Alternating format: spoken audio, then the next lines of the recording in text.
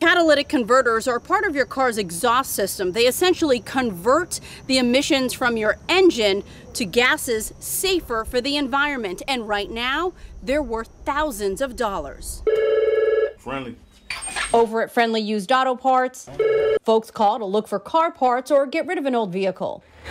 And there's a new SOP when cars come into the lot. As soon as we get them in, basically after we start them and test the engines, we take them off. Catalytic converters. They got a barrel full of them, and these are worth their weight in gold, literally. They all got different you know, different precious metals in them, gold, rhodium, silver, it's all type of things that are made into them, of course, which is why they steal them because of the value. According to Cars.com, the resale value of those metals has skyrocketed with just an ounce of rhodium racking up nearly 18 grand.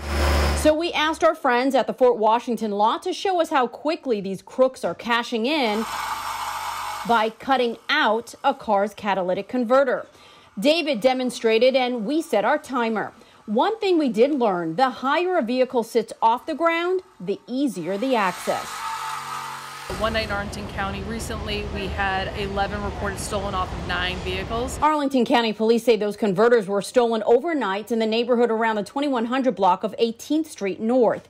Earlier that night, police arrested three Chicago men caught in the act. And it's not just Arlington County. Police say thefts of catalytic converters are on the rise in Loudoun and Stafford counties, too.